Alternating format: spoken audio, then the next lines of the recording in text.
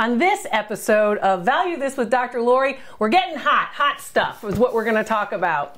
What do you think, Carol? I like it. I'm ready to go to the hearth.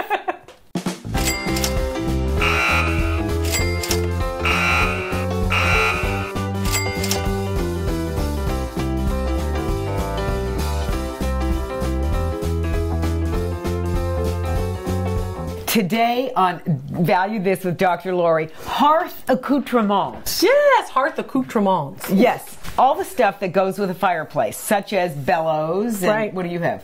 Home is where the hearth is. Home is where the hearth is. Well, the hearth was that idea of the of the middle. I've got a poker, and I've also you know poked the logs, and I've also got again, of course, the shovel, so you can shovel out the ashes. Do people collect this stuff? Like they'll have a million andirons because there's some really cute ones down here. that are Yeah, owls and yeah, yeah. Andirons are very collectible, but basically it's part of a set where you can have again hand wrought iron pieces, or you can have them in you know whether you have them in brass or whatever you like for how you want your hearth to look. Bellows are very important too, of course. Make sure that the fire keeps going. Right. It also the hearth is also a place not only for the fire but also for the stove. One of the things that I noticed, this heavy thing, an iron. I mean, these the old-fashioned irons, unbelievable. How did That's these right. work? Old fashioned, of course, clothing irons, and this particular one would sit on a stove like this, maybe directly to the stove, but it also could sit on a plate like that.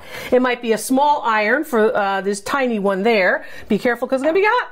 Not that hot. Okay, honey. And then basically, the these also could have the iron right on top of it. Okay, well, this right? is alarming, but I see that you put it on. It says asbestos on it. That's right, and it has asbestos in it. Okay, should people collect these or keep these in, in their house if it's got asbestos in it? If the asbestos has not started to seep out, it's fine. It's the same principle that they tell you about asbestos now. That idea is if you don't bother it, it should be fine. But if you start to see the little white specks of the asbestos coming out, you want to make sure you get rid of it. How do you get rid of it? You have to call your poison control folks and make sure that you're not just dumping it in with the regular trash. Okay, There's a so way to thing do that like- properly. Right, so a thing like this that is contained. Contained and fine, probably fine. Dates to about 1900 to about 1910, as all of these irons do.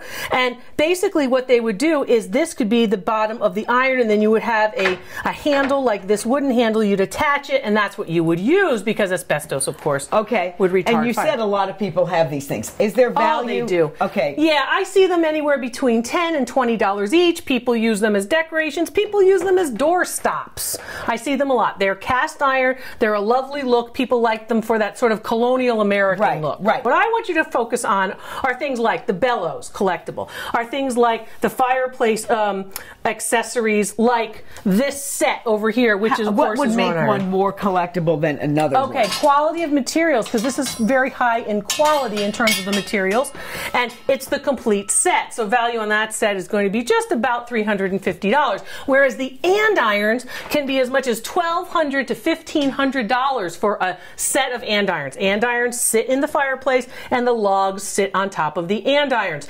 And then you can basically move, using the poker, the logs while they're still hot on the andirons. They don't sit at the bottom of Right. the fireplace and make a big What mess. makes a valuable andiron? I mean, what should Okay. people look for? Figures, usually figures of, in fact, soldiers. Some of the great ones around the Philadelphia area are those which are actually cast iron and they are figures of um, Minutemen, colonial American Revolutionary War time soldiers. And basically, any type of animal usually brings, again, pretty significant value. You have to have the pair. Okay, now if you've got one of these more valuable sets, do you bother to use it in your fireplace? It won't hurt it, either way. It won't. Won't hurt it either way because they're made of cast iron. They're intended to be functional objects.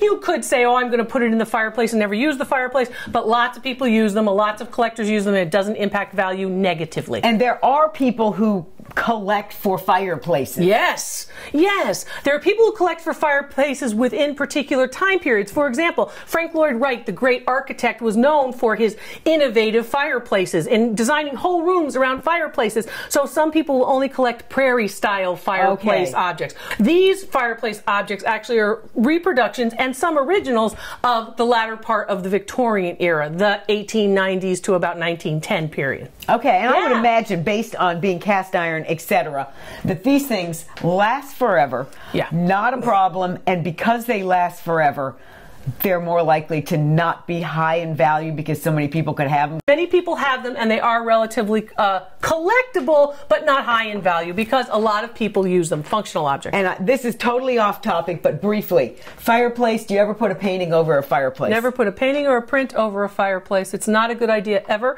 And the reason for it is too much heat.